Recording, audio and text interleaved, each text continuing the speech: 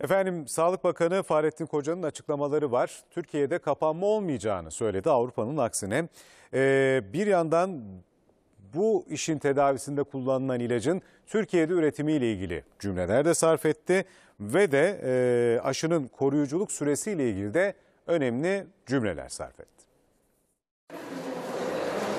Türkiye salgını kısıtlamalarla yönetmeyecek. Avrupa'da arka arkaya açıklanan kısıtlama içerikli pandemi tedbirlerine rağmen hükümetin tercihi kapanma olmayacak. Kabine toplantısı sonrası gazetecilerin sorularını yanıtlayan Sağlık Bakanı Fahrettin Koca kapanma olmayacak ifadesini kullandı. Koca bir ya da iki doz aşının neden yeterli olmadığı yönündeki iddiaları da yanıtladı.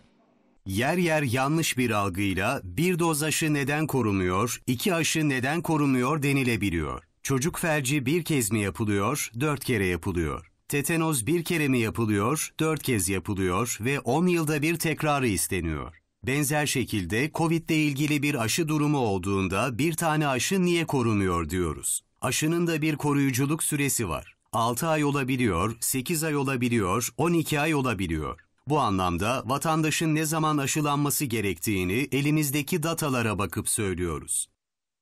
Sağlık Bakanı Türkiye'deki vakaların %17.1'inin 60 yaş üzerinde olduğu bilgisini de paylaştı. Bu yaş grubunda vefat oranı ise %85.7. Koca Türkiye'de COVID-19 vakalarına verilen Favipiravir ilacının etkisinin olmadığı tartışmalarına da değindi. Pek çok araştırmanın erken ve orta dönemde Favipiravir'in etkili olduğuna dair sonuçlar açıkladığını söyledi. Sağlık Bakanı Molnupiravir adlı ilacın Türkiye'de de üretileceği müjdesini verdi. Molnupiravir ilacı ile ilgili izin alındı.